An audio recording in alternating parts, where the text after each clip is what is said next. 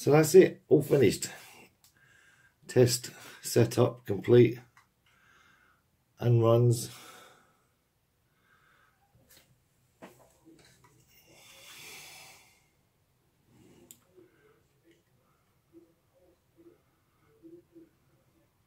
It's running on one of the capacitors at the moment. Whoops.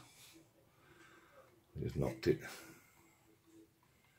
And there you go. Here's the wires going underneath to the coil. Can just about see that now. And it's suspended on the magnets.